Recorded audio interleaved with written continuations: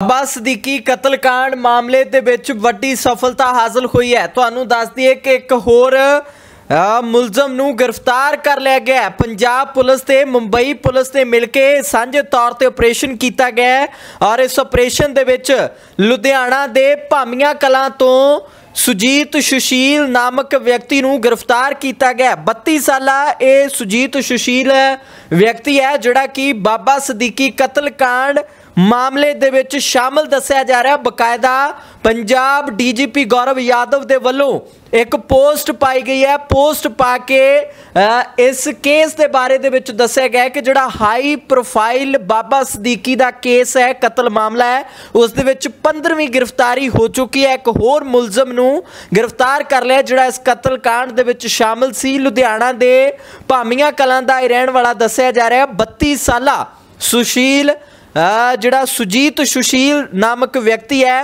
ਇਹ ਵੀ ਇਸ ਗੈਂਗ ਦਾ ਹਿੱਸਾ ਸੀ। ਤੁਹਾਨੂੰ ਦੱਸ ਦਈਏ ਕਿ ਸੁਜੀਤ ਨੂੰ ਬਾਬਾ ਸਦੀਕੀ ਨੂੰ ਮਾਰਨ ਦੀ ਯੋਜਨਾ ਬਾਰੇ 3 ਦਿਨ ਪਹਿਲਾਂ ਨਿਤਿਨ ਗੋਟਨ ਸਪਰੇ ਵੱਲੋਂ ਦੱਸਿਆ ਗਿਆ ਸੀ, ਸੂਚਨਾ ਦਿੱਤੀ ਗਈ ਸੀ ਤੇ ਉਸਨੇ ਲੌਜਿਸਟਿਕਲ ਸਹਾਇਤਾ ਵੀ ਪ੍ਰਦਾਨ ਕੀਤੀ ਸੀਗੀ।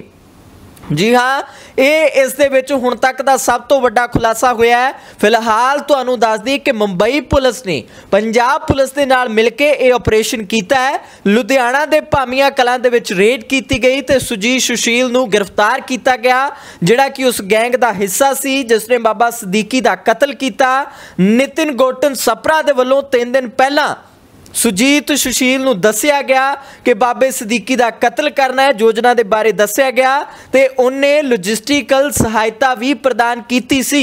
ਤਾਂ 15ਵੀਂ ਗ੍ਰਿਫਤਾਰੀ ਹੁਣ ਤੱਕ ਦੀ ਬਾਬਾ ਸਦੀਕੀ ਕਤਲकांड ਮਾਮਲੇ ਦੇ ਵਿੱਚ ਹੋ ਚੁੱਕੀ ਹੈ ਤੇ ਇਹ 15ਵੀਂ ਗ੍ਰਿਫਤਾਰੀ ਲੁਧਿਆਣਾ ਦੇ ਭਾਮੀਆਂ ਕਲਾਂ ਤੋਂ ਹੋਈ ਹੈ। ਤਾਂ ਵੱਡੀ ਸਫਲਤਾ ਹਾਸਲ ਹੋਈ ਹੈ। ਪੰਜਾਬ ਪੁਲਿਸ ਨੂੰ ਬਕਾਇਦਾ ਪੰਜਾਬ ਦੇ ਡੀਜੀਪੀ ਗੌਰਵ ਯਾਦਵ ਦੇ ਵੱਲੋਂ ਇੱਕ ਪੋਸਟ ਪਾ ਕੇ ਇਹ ਜਾਣਕਾਰੀ ਸਾਂਝੀ ਕੀਤੀ ਗਈ ਹੈ ਕਿ ਹਾਈ ਪ੍ਰੋਫਾਈਲ ਕੇਸ ਦੇ ਵਿੱਚ ਇੱਕ ਵੱਡਾ ਖੁਲਾਸਾ ਹੋਇਆ ਹੈ। ਇੱਕ ਹੋਰ ਗ੍ਰਿਫਤਾਰੀ ਹੋਈ ਹੈ, ਜਿਹੜੀ ਲੁਧਿਆਣਾ ਦੇ ਭਾਮੀਆਂ ਕਲਾ ਤੋਂ ਹੋਈ ਹੈ।